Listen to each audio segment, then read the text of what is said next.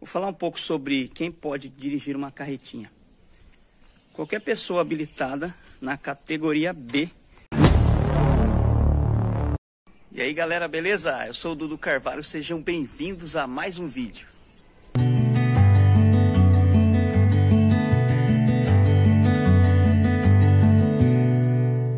Galera, hoje eu vou começar a gravar aí para vocês uma, uma série de vídeos, né? Vou tentar nem fazer muita edição, tentar gravar aí no natural. É, eu tô há alguns dias, quatro dias de, da minha viagem para Fortaleza. Eu vou viajar de Campinas, São Paulo, até Fortaleza. Vão dar 4 mil quilômetros e eu vou puxando essa carretinha aqui, vou com esse carro aqui, ó. É uma Sportage 2012 e eu vou puxando essa carretinha aqui. E eu fiz algumas adaptações nela. Ela, ela era baixa originalmente ela vinha até aqui. Eu fiz esse aumento nela aqui de 80 centímetros para ela ficar uma caixona, para caber mais coisas e ter mais segurança aqui para amarrar as coisas, né? Então hoje eu vou essa madeira aqui era a original. Eu vou colocar mais uma madeira aqui, fechando aqui direitinho e ali no fundo. E vou gravar gravar para vocês algumas coisas aí é, que eu já vou começar a desmontar o guarda-roupa da minha filha, a cama dela, que eu vou levar aqui nessa carretinha. Então eu vou levar aqui mais as coisas da barbearia, para quem sabe aí, quem já conhece o canal, eu sou barbeiro e vou levar as coisas da minha barbearia, que eu doei a minha barbearia aqui em Campinas para um amigo meu e algumas coisas eu estou levando para Fortaleza. E eu vou levar nessa carretinha aqui, certo? Vou levar um sofá também, algumas coisinhas. E eu vou gravando para vocês o que eu estou fazendo aqui, para vocês estarem cientes dessa viagem aí também, tá bom? Para quem quer fazer uma viagem dessa, quem quer fazer uma grande mudança dessa, eu vou contar para vocês.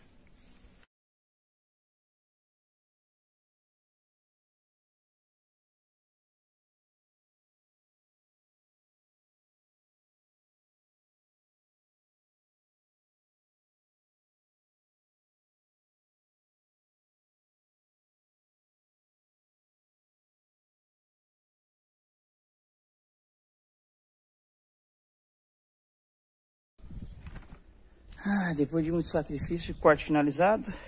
Essa não é a ferramenta apropriada e nem o disco. Mas deu certo, cortamos. Vamos lá finalizar a montagem lá na carretinha.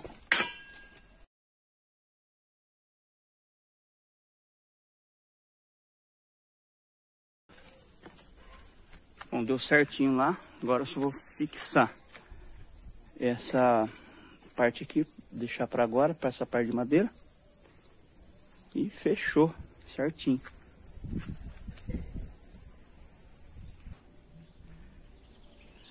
Tudo certo lá, pessoal. Parafusado, tá bem fixado ali. Ficou bem firme. Tudo certo aqui. Agora eu vou lá pro fundo, vou tentar não precisar cortar essa, essa parte dessa tábua aqui. De largura ela tá exato, ficou certinho. Por incrível que pareça, a tábua que eu tinha, ela deu exatamente. Cortei ela no meio, ela deu certinho aqui. Por incrível que pareça. Essa é uma madeira de compensado naval. Agora eu vou ver se eu não preciso fazer um corte nela lá a largura tá certo, mas a altura aqui pode ser que não dê ali. Mas eu vou tentar não cortar. É muito difícil cortar com aquela ferramenta que eu estou cortando que não é apropriada para isso.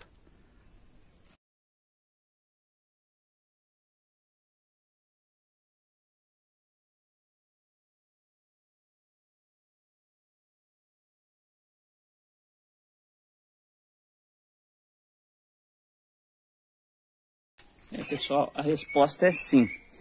Irei precisar cortar, porque preciso ter essa grade ali, né? Essa grade de proteção para ficar no padrão, né? A carretinha.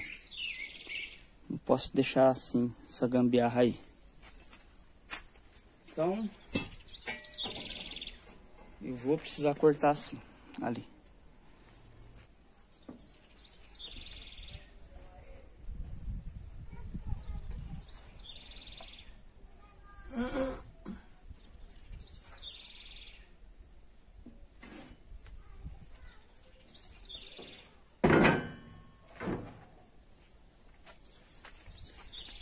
Só vou definir o tamanho direitinho que será cortado lá. E aí eu volto aqui para mostrar alguma coisinha. Pessoal, é o seguinte, como eu não tinha ferramenta, vim nessa madeireira aqui, ó. Pedi para aquele senhorzinho que tá na porta ali. Não filmei lá, ó, aquele senhorzinho ali. E mais um marceneiro. Pedi para eles, se eles podiam cortar para mim. Eles cortaram rapidinho.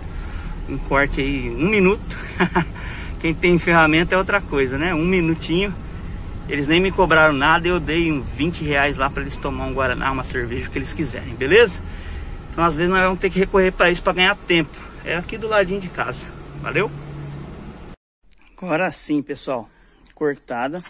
Agora eu só vou regular a altura da grade aqui, né? Que eu fiz alguns reforços aqui. É... Colocando aqui, né? Isso aqui ainda eu vou pintar com spray preto. Baixa. E eu gostaria que ela ficasse aqui nessa altura, talvez, né? Altura pelo menos um pouquinho mais alto aqui. Vou ver certinho aqui e eu volto daqui a pouquinho.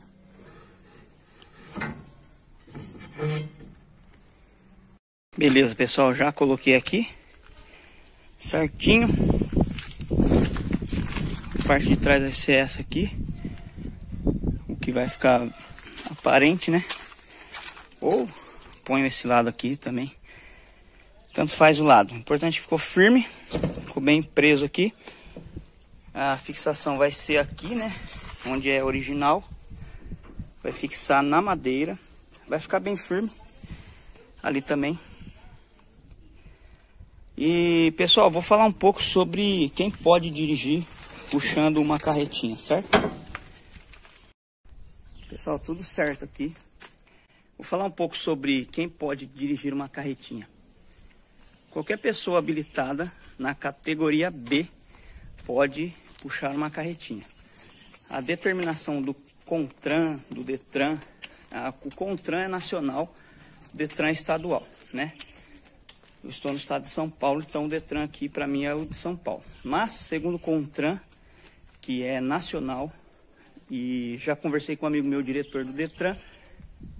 É, qualquer pessoa pode dirigir uma, é, puxando uma carretinha, desde que tenha até mil quilos. É, a carga dessa carretinha, contando com a carretinha, tenha até mil quilos, ou seja, uma tonelada, tá?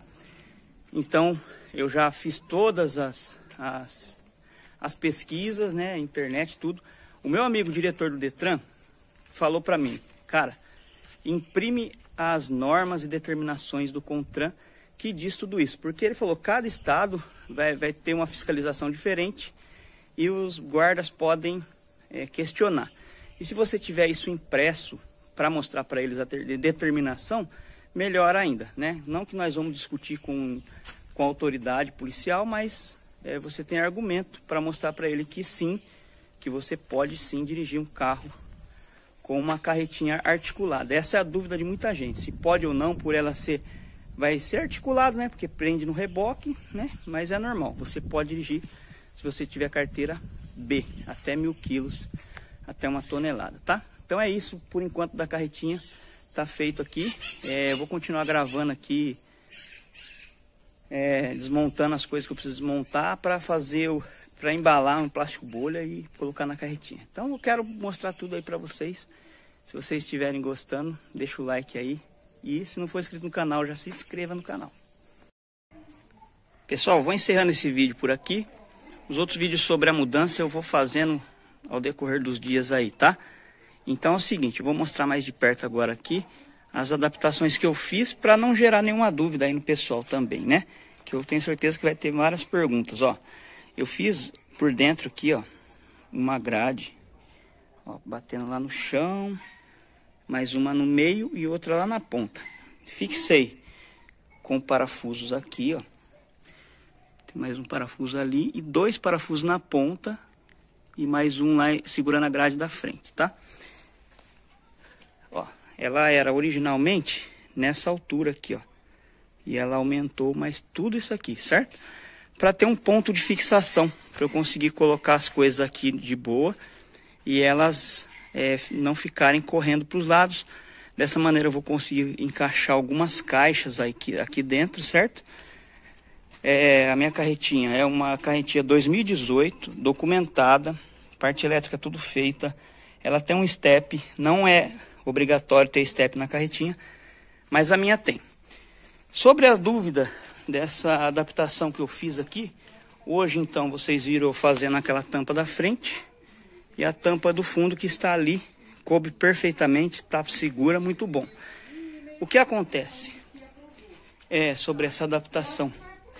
Eu tenho certeza que vai gerar dúvidas, as pessoas vão perguntarem se não vou ter problema com essa modificação. Respondendo, provavelmente não terei nenhum problema, porque no documento da carretinha ela não vem nenhuma especificação de altura nem de comprimento.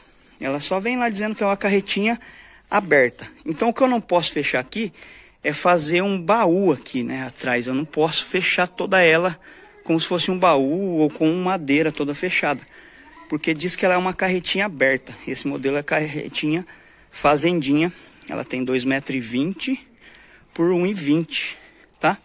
Então é isso. É, não vou ter problema nenhum né? Creio que não, porque ela não tem nenhuma espe especificação no documento de tamanho da carretinha, nem de altura das laterais, tá? Ela está muito fácil de ser removida depois. Eu guardei as madeiras originais daqui e ela tem muito fácil de ser removida, porque depois que eu terminar de usar ela para viajar e posteriormente fazer algumas outras coisas lá em Fortaleza, que eu precise carregar alguma coisa, eu vou vender ela então tem a opção de depois o futuro comprador dela é, voltar ela no estado original ou mantê-la com essas grades aqui, certo? Sobre valor, paguei 3 mil reais nela. O antigo o, compra, o vendedor dela estava vendendo por 3,600. Negociei e saiu por 3 mil. Documentada, já está em meu nome, placa Mercosul, certo? Então é isso, pessoal. Muito obrigado por ter assistido até aqui.